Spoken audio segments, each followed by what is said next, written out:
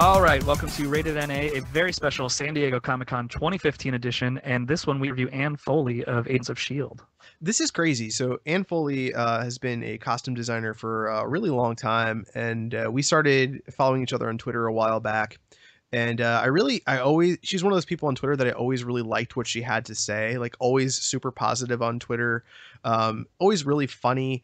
And uh, one thing led to another, and she had some free time on Sunday at SDCC, and we set up an appointment. And uh, for all, all, of our listeners know this, um, but everyone here at the show is a huge fan of Agents of Shield. I, I would I would honestly say right now that it's my favorite show. Uh, I love it. I think it's great. It just it it there's something magical about you know watching these these comic book characters go on special adventures and they wouldn't look as cool if they didn't have amazing costumes and, and look as amazing as they did and do so uh, it was yeah. awesome to and talk I think, to yeah go ahead I, I think that's a big part of it is that it does look good you know like it's not just a sci-fi show that is like Bleh, but it looks good Absolutely, it looks amazing. So, um, for new listeners, you guys can find us on Twitter, and that's at Nerd Appropriate. Um, we'll do our best to reply to every single tweet. If you go to our Facebook page, that is a uh, slash Nerd Appropriate. Make sure you follow us there. And uh, we do a show every week. We've been doing this for about five years now, almost five years now. So if you subscribe, we do uh, you know a show almost every week, and then around San Diego Comic Con time, we do extra shows like our show here with Ann Foley. So. Yeah, and if you subscribe, you can go back and listen to uh, Milana Vayntrub from Other Space, uh, the Expanse authors Daniel Abraham and Ty Franck, or even Mr. Bryan Cranston yeah. uh, from Supermansion. Um, so go back and give those a listen, and thanks for subscribing and, and hanging out now. Yeah. So enjoy our Here's chat the interview with Ann Foley.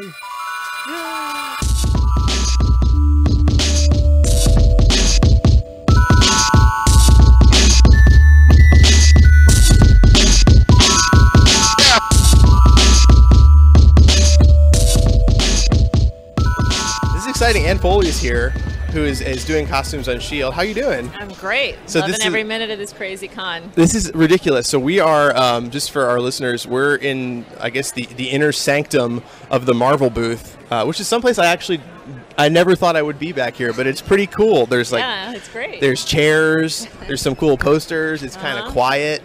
Um, it's awesome. It's awesome back here. So you having a good show so far? Oh, it's been great. It's it's yeah. Sunday. Yeah and uh, it's normally like it.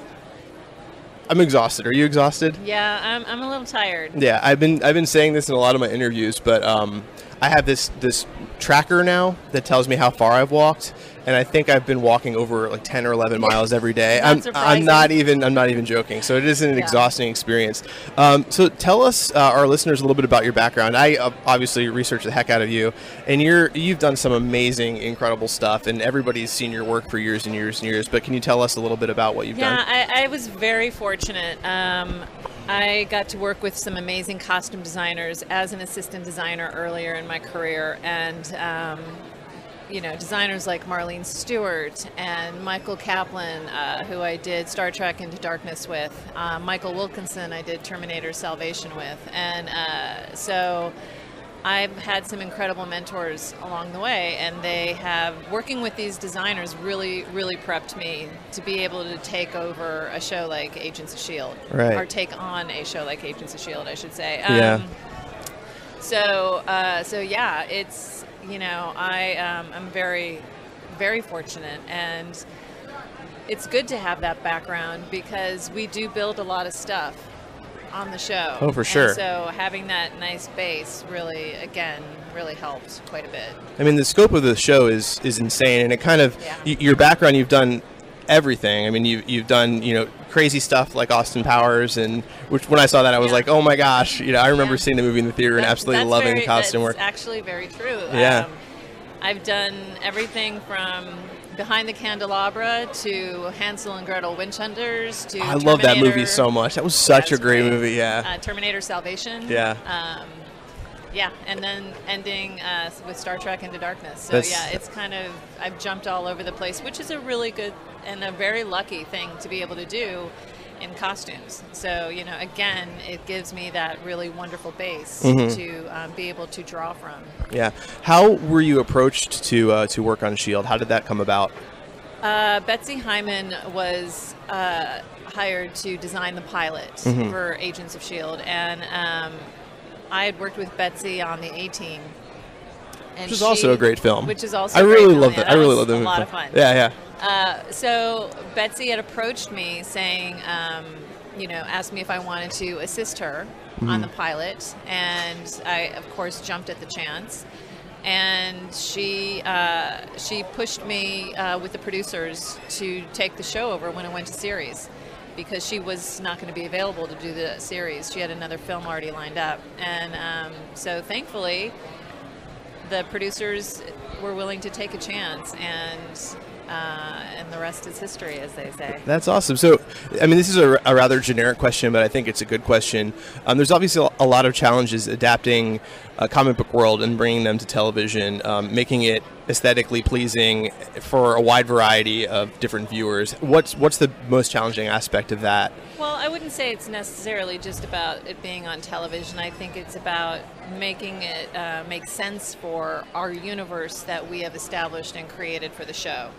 Uh, whether that would have been a feature or whether it's television, um, you know, the the edict is to have it make sense, keep it, you know, keep it grounded for for our show, for our world, and um, and so I wouldn't necessarily call it a challenge. Um, it's just part of um, the aesthetic of the show and what we do. How do you how do you go about designing new looks for characters? So for season season one and season two, visually were very different in terms of Yeah. the costume design. Uh, Season two, I hate to use the term edgy, but the look was much edgier. I remember when Skye came back, I was like, oh shit!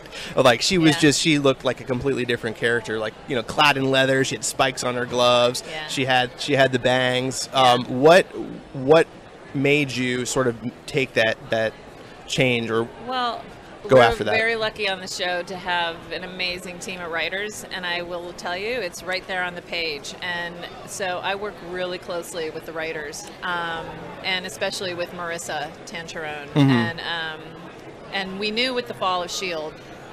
You know, at, towards the end of season one, things were things were changing, and it was already getting to be a little bit darker. But we decided for season two that um, you know, with the events at the end of season one, they had to grow up, Mhm. and uh, and we wanted, and the show took a little bit of a darker turn, Mhm. and we wanted to reflect that with their clothes. Mhm. And I feel like we, but at the same time, maintaining who they were, established it as in season one, so that you Right. still recognize them as the characters they were season one, but just with a twist in season two. Right, right.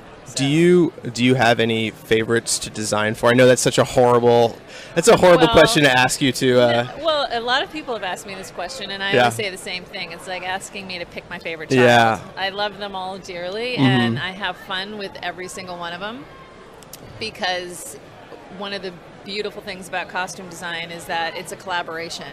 Mhm. And so I love collaborating with the cast and you know, and helping them to find these characters. And it's always a joy when they put something on and I mean their posture will change and Right. they'll be like, I love this, this is so Skye. mhm. Um, or this is so Simmons. Uh, so, you know, that part of it is, is awesome. It's really Yeah, great. that is really cool. Um, there have been some favorite moments of mine uh, when Coulson and May go undercover and they're completely, completely in different wardrobes, and it's absolutely hilarious. Was that fun to kind of put to? Uh, yeah, Yeah, undercover. Undercover is a big favorite among Yeah. the cast, Mhm. and um, I think for the fans too. I okay. That being said, one of my favorite moments would probably be May and Coulson going under as Fitz and Simmons. Yes. Undercover for uh, season one. yes, that, That was was, hilarious. amazing. It was one of my favorite funny. scenes. Yeah. Really funny. the file transfer out the window. It's really, Yeah. it's brilliant. I loved yeah. it. But I also, you know, I do. I love putting Fitz in tactical. Yeah. And um, you know, because I like getting to put them in stuff that you don't really see them in a lot. Mm hmm So Let's let's talk uh, for a second about you mentioned putting people in things. Um, let's talk a little bit about Deathlok. Okay. How how fun has that been to bring that character onto Oh, screen? God. It's been amazing. It's Yeah. been really, really amazing. And, um, you know, and we always, from the very beginning, the plan would always be he was going to have an arc. Mhm. Um, you know, starting in the pilot uh, episode, as Mike Peterson, and he's Mhm. got the centipede device on his arm, and so there was always going to be a progression with this character, and who knows, there could continue to be a progression. Yeah. I have no I have no idea where he's he's going to land, but um, it's been an absolute blast Yeah. designing him. Do you have? Um, I don't know if you're allowed to say this yet. Do you have any characters that you would love to design for, like bring on the show, either from the cinematic universe or, you know, because you did have uh, Lady Sif come in and and yeah. I mean that's pretty exciting. But do, are, do you have any favorites that you'd like to well, see? I've always said that my favorite Marvel character is Black Widow.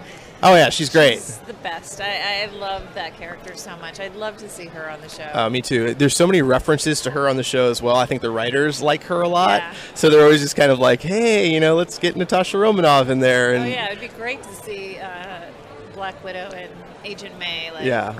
You know, kicking some serious ass. Right. So um, obviously, a, a lot of our listeners and all of us at the site are huge fans of all of you guys and huge fans of your social media feeds because, um, you know, we, we pay attention to what people say on social media, and you guys are all insanely positive, and it looks like you're having a ridiculously good time all the time. Um, is that vibe on set really, truly like that? Oh, that absolutely. They're like a family. Yeah. You know, the whole cast and the crew. It is. It's like a great big family, and Yeah. I'm not just saying that. Um, it's honestly, it's really true, and I think that you can see that yeah. in how much fun they have on social media together. Right. Uh, you know, perfect example is the Dubsmash that's been happening. It's ridiculous. The war between Agents of Shield and um, Agent Carter. Mm-hmm.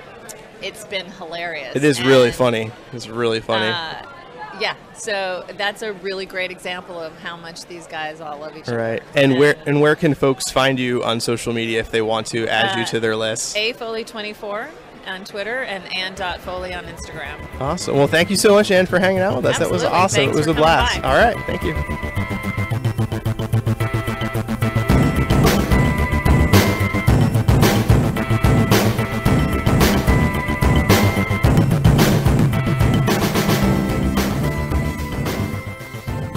Right, guys, thank you so much for listening to our chat with Ann Foley. She was, uh, you know, really generous with her time. It was literally, um, we conducted that interview in in the back of the Marvel booth on the San Diego Comic Con floor, which is, I think, during the interview, I'm kind of like, oh, I'm in, I'm in the Lions Den. It was awesome. like, you're back there, and there's all these, you know, like the control booth, and just very, very cool. So it was uh, really nice of her to invite us back there to talk for a bit, and uh, I'm insanely excited for season three of Shield and uh, for what you know Ann has in store for the characters and and uh, bringing the the secret warriors to life. So there's a lot of really cool stuff coming up in season three, and like I said earlier, you know the show wouldn't be as good without her amazing work on it. So um, you know, big thanks to her, and everyone should definitely be tuning into Marvel's Agents of Shield because it's a it's a badass show. We love it. Yeah, yeah. Yeah. So if you guys want to follow us, we do a show every week, like we said earlier. Uh, you can subscribe to the little subscribe button there and listen to our uh, weekly shenanigans and discussions about all sorts of fun stuff. You can uh, follow us on Twitter, and that's at Nerd Appropriate on Twitter. And you can, of course, go to our Facebook page slash Nerd Appropriate on Facebook and find us there. And uh, yeah, subscribe. Everything's free. We love it. We love you. Thank you. We love you. We love you so much. we're just we're in love. We're in love with all of you. So thanks, guys. Thank this, is- you. This, this is sad. This is the last thing we're recording for Comic Con, and now it's officially over. This is officially. Is The really la- it. It's so sad. Like It did, is. Did It you get the. Did you get the um the the post SDCC funk when you were done?